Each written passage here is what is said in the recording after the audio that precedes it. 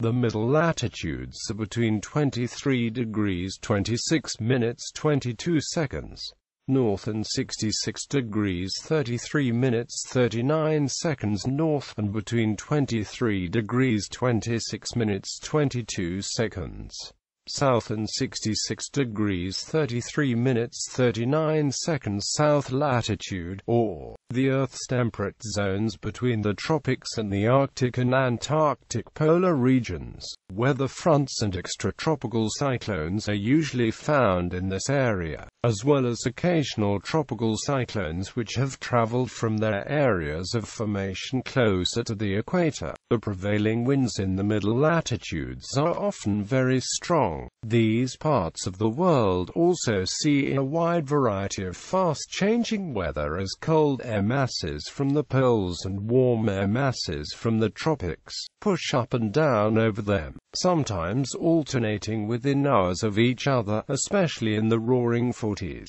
There are four types of epic mid-latitude climates, Mediterranean, humid subtropical, marine west coast, and humid continental.